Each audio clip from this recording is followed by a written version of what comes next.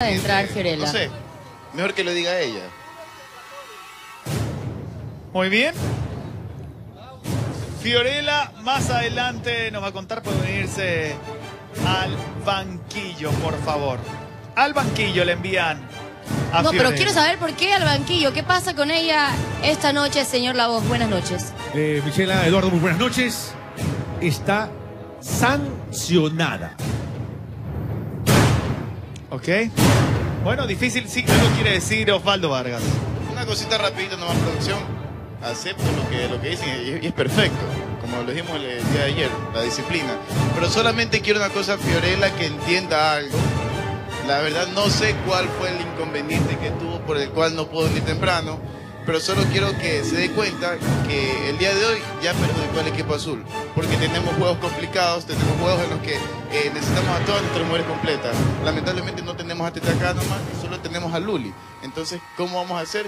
Y nos ponen en jaque al equipo azul. Solo quiero que reconozca eso. Muy bien, señor La Voz, queremos saber qué ocurriría en esa situación. Y es verdad, debido a que ellos no tienen tampoco a Tete Ronquillo. A los azules le tocaría repetir. Es decir, que Luli tiene que jugar Sí, doble. sí. Ay.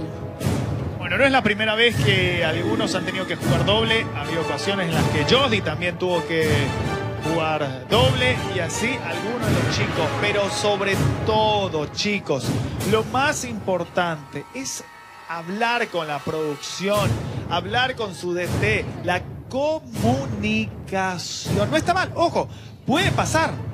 Tal vez a más de uno nos ha ocurrido que nos hemos atrasado porque es verdad, puede haber un accidente, un choque, algo. No es algo diario.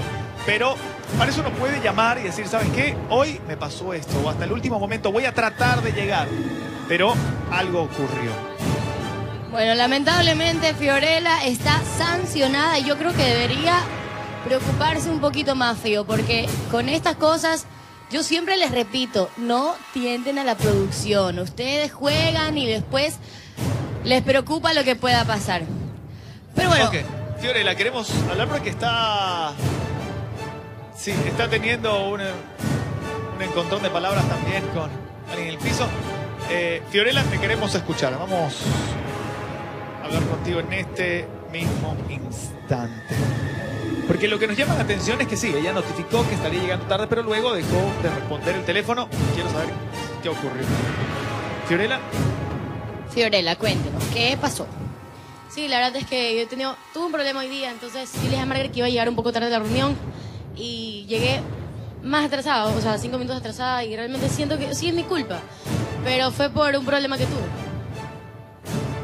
Claro, la reunión es a las 7, usted entró a las 8 y 5. Entonces es una hora y 5 minutos, ¿no? Con el programa, no con eh, la reunión. Que la reunión es obligatoria. O sea, la hora de entrada de los chicos. No, sí, obviamente, pero yo había hablado con Margaret porque le dije que era imposible, que no iba a llegar a la reunión. Y ella me dijo, obviamente, que me apure y todo, pero ella me acaba de explicar que nunca le dije que iba a llegar atrasada al programa, porque no pensé que iba a ser así, pensé que iba a llegar 7 y 40. Entonces, Pero es que precisamente por eso, Fío, tiene que comunicarse porque el programa cuenta con usted, el equipo azul cuenta con usted, Osvaldo Vargas, todos. Claro, no es lo mismo, por ejemplo, me ha pasado, ojo, me ha pasado. Que yo hablo con la producción y le digo, producción, no alcanzo a llegar a mi reunión, es a las 7 y 30, después de que termina la de ustedes, pero llego al programa, con las justas. Pero llego, porque es verdad, hay casos en los que el avión se atrasa, eh, no sé, se, se atrasa, no, pues el avión cuando uno viene a otro lugar, pues. O el, eh, la, con- la congestión de tráfico, lo que sea, no le digo, porque yo trato de nunca llegar tarde, en verdad. No, no, yo reconozco que, que, que sí fue mi culpa porque le tuve que haber dicho que...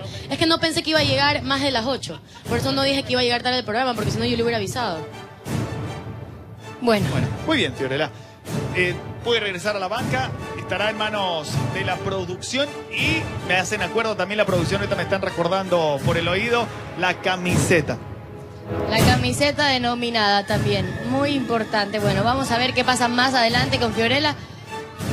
Todavía no, ¿qué pasó? Se la tenía, a ver, a ver, ¿La tenía quién? ¿quién la tenía, perdón? ¿Quién la tenía? No, es que había perdido mi camiseta y Mono hoy día me mandó una foto y me dijo que la encontró. ¿La, él A ver, había- pero- él la lavó a mano o qué? Hola, es que ¿Dónde tenía usted la camiseta y por qué? No entiendo, no entiendo. La encontré en camerino, estaba buscando mis zapatos y en eso ¿Qué hacía la camiseta en su zapato? estaba en el camerino, mis zapatos estaban botados en el camerino, yo lo voy a buscar y justo levanto mis zapatos y estaba, y estaba ahí la camiseta. O sea, estaba a la vista. Estaba ahí a la vista. ¿Y por qué, por qué entonces no la encontraron hace cuántos días que se le perdió? Cinco, es men- tres, eso cuatro. es mentira, porque este, Grace incluso se tomó la molestia de buscar. Lo que pasa es que como la encontró tirada, la guardó en su casillero. Mono, di la verdad. Yo no, no. O sea que le tenía, quería un recuerdo de Fiorella. Estaban en los cuadraditos de arriba donde siempre guardo mis zapatos, lo voy a buscar en, en- en los bloques. Voy a buscar en los bloques mis zapatos y justo veo la camiseta y le digo, ve la camiseta de Fiorella, después le envío una foto. ¿Quieres saber algo? Ayer Fiorella pudo salir de la nominación. Por esa camiseta, mire, se perdió la oportunidad. Eso no, eso no fue culpa mía. Bueno, Vaya, entreguele la camiseta, vaya, ¿Sabe vaya. mejor- por favor, no la vuelva a perder. mejor venga conmigo y sígame, porque todavía queda una oportunidad. Y es la oportunidad nada más y nada menos que tendrá Carlos DJ Lira y Don Gao, su gran amigo de enfrentarse. ¿Qué pasará esta vez?